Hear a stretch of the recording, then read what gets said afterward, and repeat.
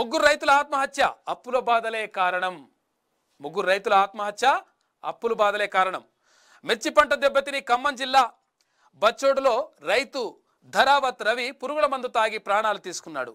ఇక పట్టు పురుగుల పెంపకంలో నష్టం రావడంతో కరీంనగర్ జిల్లా గనుల కొండాపూర్లో సూదగోని రాజయ్య ఊరేసుకున్నాడు.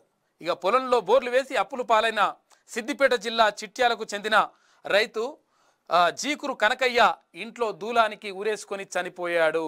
ఇవన్నీ కూడా ప్రభుత్వ హత్యలు. చెప్పినావు కదా కాకా నువ్వేం చెప్పినావు? వరి కాకుండా ఇంకేమైనా వేయండి వరి వేస్తే ఊరే అని చెప్తివి. ఇక్కడ మిర్చేసుకొని వాళ్ళ ఆయన చచ్చిపోయిండు. తర్వాత ఇక్కడ ఏది పత్తేసుకొని పత్తి ఆయన చచ్చిపోయిండు. పట్టు పట్టు పెం పట్టు పురుగుల పెంపకం చేపట్టి ఆయన చచ్చిపోయిండు. తర్వాత ఇక్కడ దూలాన్ని కూరేసుకొని ఈయన చచ్చిపోయిండు. ముగ్గురు రైతులు ఒక్కరోజు ఆత్మహత్య చేసుకున్నటువంటి పరిస్థితి. ఇగో ఇది బంగారు తెలంగాణ రైతు సంక్షేమానికి సంబంధించినటువంటి తెలంగాణ. కాబట్టి అప్రమత్తంగా ఉండండి. ఎందుకంటే ప్రాణాలు తీస్తున్నటువంటి ప్రభుత్వాన్ని ఎట్టి పరిస్థితుల్లో ఉపేక్షించేది లేదు. ఒకవేళ మనం అట్లే ఉపేక్షిస్తే అందరికి కూడా వస్తుంది. అంటే అసలు యాక్చువల్గా ఒకటి ఒక కథ ఉంటుంది అనమాట అసలు కథ కాదు. అసలు యాక్చువల్గా జరిగిన సంఘటన. హిట్లర్ హిట్లర్ ఉంటాడు కదా? ప్రపంచంలో నియంతగా ఉన్నటువంటి హిట్లర్ ఏం చేసిండంట? ఒక వర్గాన్ని చంపేసిండంట ఒక వర్గాన్ని చంపేసినప్పుడు మిగతా వర్గాలన్నీ ఉంటాయి కదా ఆ వర్గాలన్నీ కూడా ఎవరు కూడా చప్పుడు చేయలేదు. ఎందుకంటే మాకెందుకులే వాళ్ళని చంపేస్తుంది కదా ఆ వర్గాన్ని చంపేసింది కదా మాకెందుకులే అని చెప్పేసి అనుకున్నారట. ఆ తర్వాత ఇంకొక వర్గాన్ని చంపేసిండు. ఆ తరక తర్వాత ఇంకొక వర్గాన్ని చంపేసిండు. ఈ ఉన్నటువంటి వర్గాలు ఏవి కూడా వాళ్ళని ఎందుకు చంపుతున్నావు అని చెప్పేసి అడగలేదు. చివరికి చంపుతూ చంపుతూ చంపుతూ వచ్చేసిండు.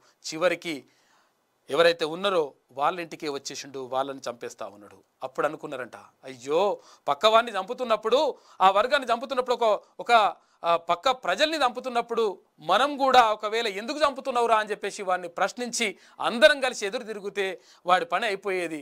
కానీ మనం ఎవ్వరం కూడా ఎదురు తిరగకపోతే సచ్చేది పక్కోడు కదా అనుకుంటుమి చివరకు మనసావుకు వచ్చి అని చెప్పేసి అనుకున్నారంట.